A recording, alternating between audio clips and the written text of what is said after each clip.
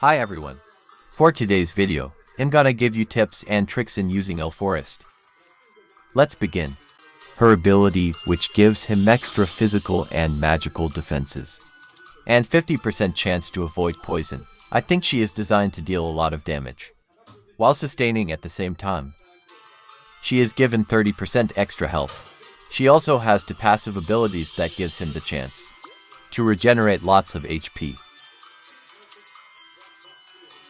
And finally, her physical and magical attack is increased by 30%, making her damage strong. This is the best skill set to use for her.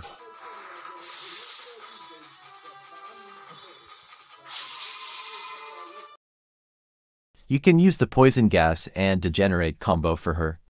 This combo deals a lot of damage. Or you can spam Rock Burst and Magic Whirl at the enemy, since this two skills deal a lot of damage as well and lowers the enemy's damage.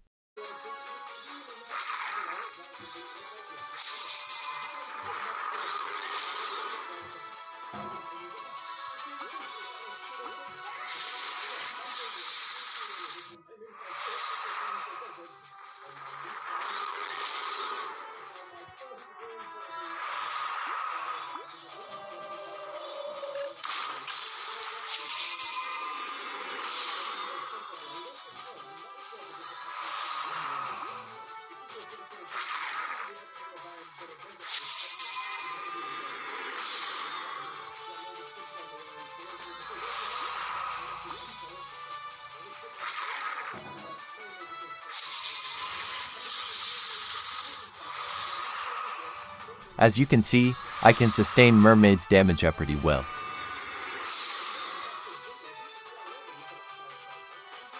Just use Poison Gas along with Degenerate, or spam Magic Whirl and Rock Burst.